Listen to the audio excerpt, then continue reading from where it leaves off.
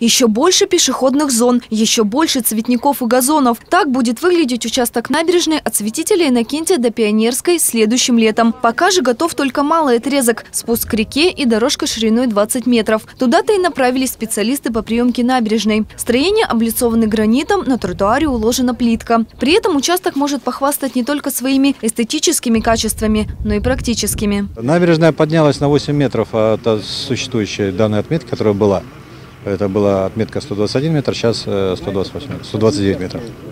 Ну и шире она стала порядка на около 100 метров. На строительство этого отрезка шириной 20 метров было затрачено около 50 миллионов рублей из общей суммы в 150 миллионов, что предназначено на реконструкцию всего участка набережной от Святителя Иннокентия до Пионерской. Работы там еще ведутся. За забором у нас э, идет благоустройство образуемой территории.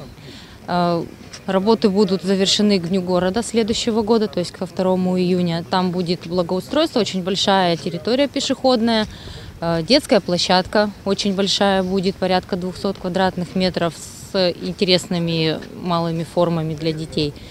Вот. Э, Все это планируется к открытию в следующем году. Никаких серьезных претензий у проверяющих не возникло. Участок приняли сразу. После строители включили фонари и убрали забор, который ранее препятствовал проходу на готовый участок. Теперь он открыт для горожан. Первые прохожие не заставили себя ждать и тут же оценили новую набережную. Совсем, что было в студенческие годы, намного современнее и красивее. Да, мы здесь будем прогуливаться всей семьей. Регина Кунина, Михаил Величкин. Программа «Город».